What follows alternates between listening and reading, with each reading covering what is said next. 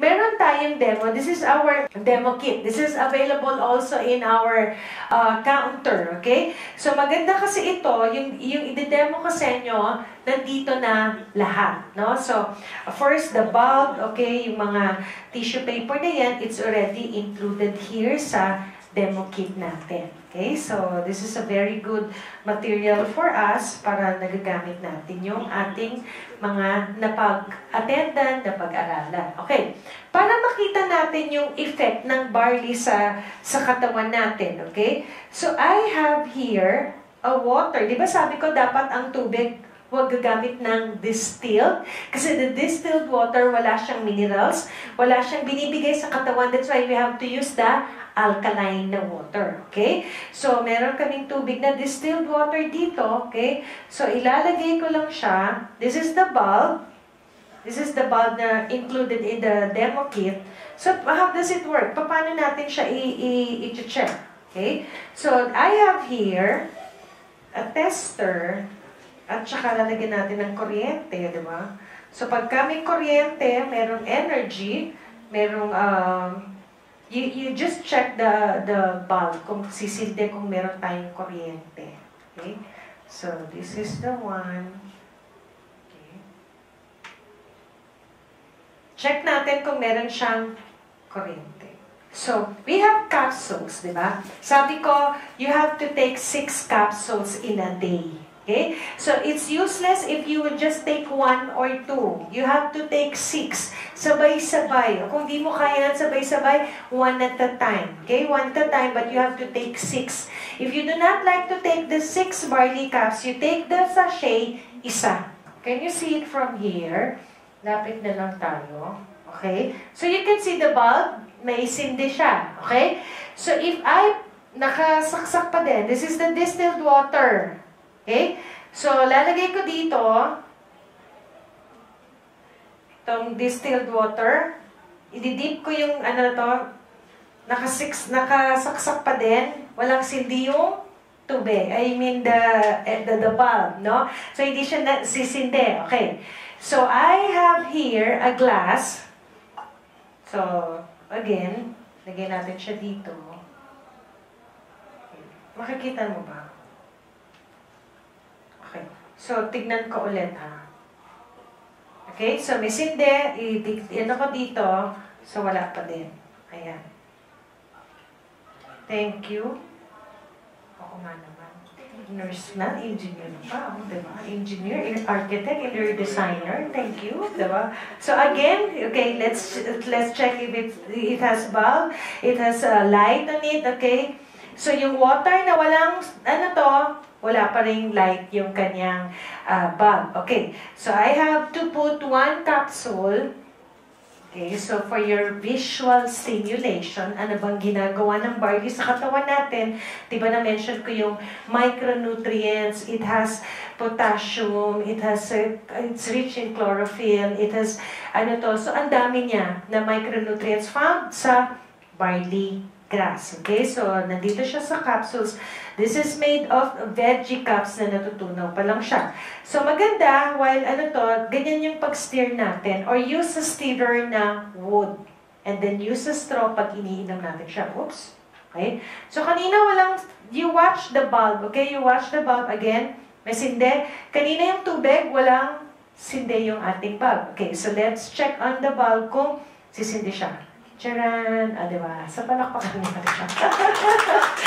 so, what's that, ano to? Um, it, it meaning to say, if you have uh, something that you put inside your body that has a good nutrition, it will give you a, a, not only energy, but a lot of micronutrients that found in the barley grass.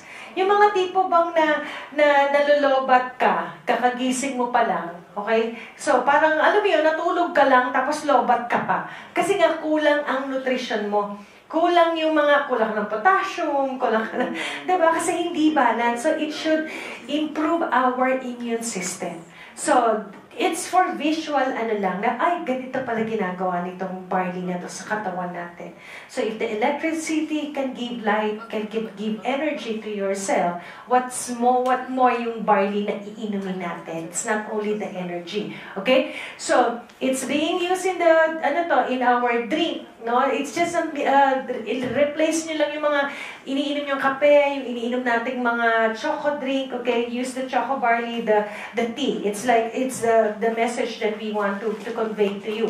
Um, this is the features of our napkin, okay? So, para to prevent this kind of, ano to, yung mga illnesses na yan, okay? Pero once na naka-open yung brand X na yan, okay? Andyan na siya naka-expose. So, you just get one, okay? And then put it back. So, wala naman siyang resealable na seal, unlike the, the moments, no? Um, and then you put it back na ulit nandun lang siya, naka-expose lang siya sa comfort room, di ba? Papakita ko yung, uh, ano nun mamaya, okay? So this one, when you try to open this one, this is the moment, ito yung features niya, odor control, uh, FAR infrared, okay? This is the one that has anion, okay? The anion, ito yung nag-a-attract ng mga bakterya. This is what we are paying for sa napkin na to, okay? So ito siya, ang ang ang takip ang, ang glue na ginagamit dito is food grade. Okay? So we have to use it here. Okay. So this is the moments na nasa drawer ka to aba. Oh, very good. Okay. So ito yung sinasabi ko, di ba? When you try to open the the moments na napkin, okay? Open mo siya, kumuha ka ng isa, ba? Very slim ito put it back, resealed it, okay? So then put it nasa banyo or drawer, whatever. So it's very, ano to, uh, ano tawag dito, yung uh, nakaseal siya, healthy, healthy, di ba? Kasi meron din itong, um, ang tawag dito, expiration. Yung sa mga brand X, wala naman silang expiration eh. Okay? So you do not know if this being freshly made or something. Pero I know, sabi mo, hindi, napkin lang naman. I know that's napkin. It's a non, ano to, no, item. Pero kailangan maingat ka din. Kasi imaginein mo nga naman yung brand X, di ba? The brand X, okay? So naka-expose yung cockroach, yung daga, di ba? Pumasok, di ba? So, nandyan lang. At least yan, sealed sila. That's one. It's being sanitize. Okay, so this is the brand X. Okay, brand X. Ito, you could see yung anion niya. We will check on the anion, kung anion ba talaga yung nandyan siya. Okay, so with wings din ito. And then yung glue na ginagamit dito is the one na yung parang mga rugby. So, nakakasama siya. Okay? So, pag nilagay mo siya sa uh, ano, underwear ng mga babae, okay? To, to have the absorption, no? Absorption rate nung, nung um, napkin na yan? Nilagay ng kulay niya. okay. So, ilagay natin ito yung, the same um, 50 ml ng water, no, or the, the fluid na nilalabas sa mga babae, the day 2, day 3 nila is 50 daw yung average na lumalabas. Okay? So, this is what happened to the brand X. Kasi nga, others are made of plastic. So, nagsaslide. That's why every time nagagamit ka ng brand X, nagkakaroon ka ng stain. Diba? So, na-sustain mo. Kaka, uh, ano mo pa lang yan. Okay? Dahan-dahan ka pa nga maglagay. Okay? So, that's one. Kasi yung materials na ginagamit natin dito, di ba? Ang ganda ng kulay. Barley. kulay green din. Bakit green? Ah! See? So that when you go dun sa ano mo, yan siya. Lumalabas. So, Again, another 50 ml. Lagay natin siya dito. Kasi ito, why do you say na ganyan siya nagsislide? Kasi it's made of plastic. Yung mga material nito, ayan, hindi siya properly na absorb.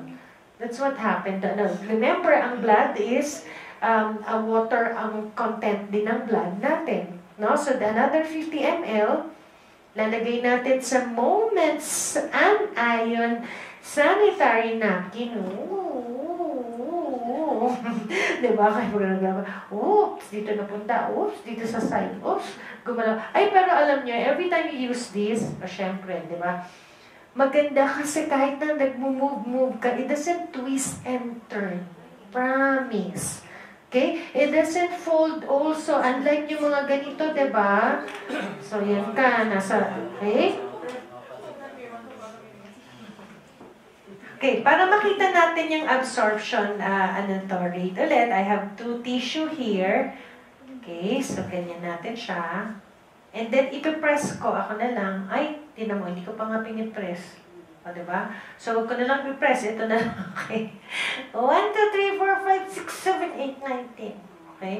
Kahit na nakaupo ka, na ano to, okay, so yung absorption rate niya, ito hindi ko pa binababa, oh. I mean, hindi ko pa pinrest ito. Look at this one. So, it's so, ano to, um, hindi ka nakakatipid dito. Napapamahal ka, napapamura ka. Yung thought mura, it's not. Dito mahal, sabihin mo, mahal, okay, mamahalin natin ikaw. You love yourself, that's why ito. Ito mura, mumurahin ka niya, di ba?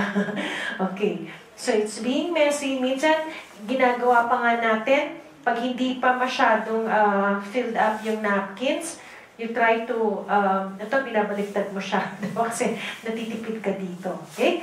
So, ito, I will try to open the yung material kasi para makita mo yung tamang ano niya. Okay. Yung cotton na ginamit dito is yung mga uh, recycled na papel. Okay? So, tignan natin yung anion. Okay? Can you see the anion of the material na anion dito? Okay.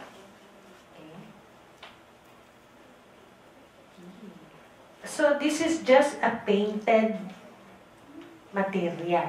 So, this is not the anion. No? So, minsan, yung mga paint colors na yan, dapat nga talaga dapat puti. Gagamitin mo tissue paper, gagamitin mo ito. Huwag may mga dekor-dekorasyon, may mga printed florals, do not use that. Because the ink might cause irritation sa skin natin. So, this is the one, they just, ano to, di ba?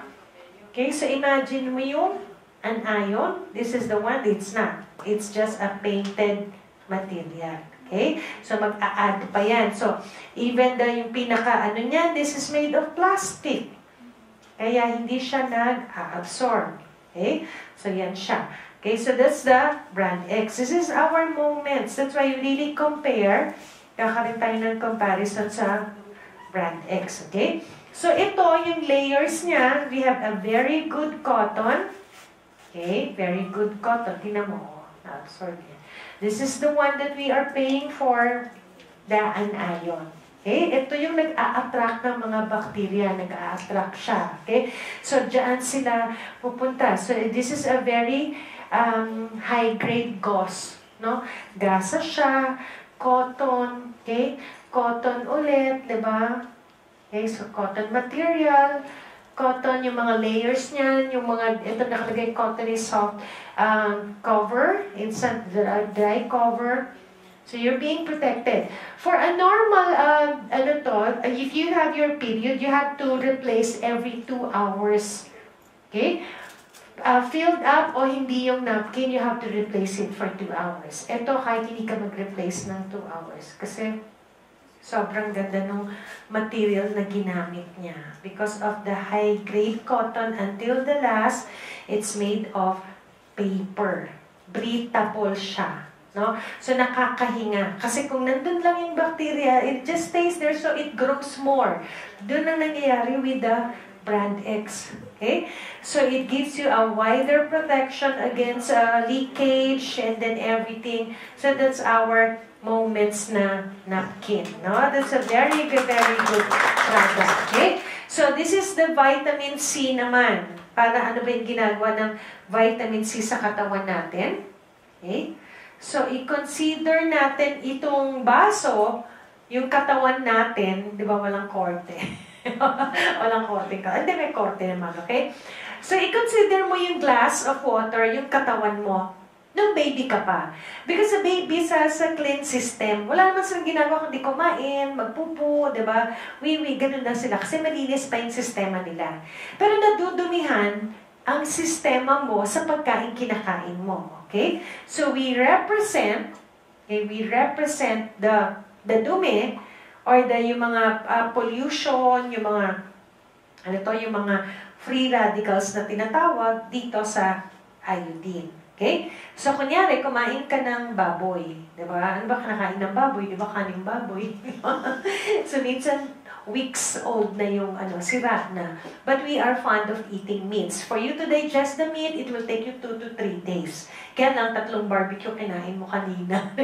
the lunch. Okay? So, nadudumihan ang katawan mo sa pagkain kinakain mo, sa preservatives, no, sa processed food, Okay, air pollution, 'di ba nandiyan lang yung mga mga uh, bacteria, pathogens, okay? So yung tubig na iniinom mo hindi naman maganda talaga, okay? So nadudumihan ang katawan mo sa mga uh, factors na yan. Pagkain, tubig, and the air. Okay? So, if you have vitamin C in our body, again, visual simulation, okay?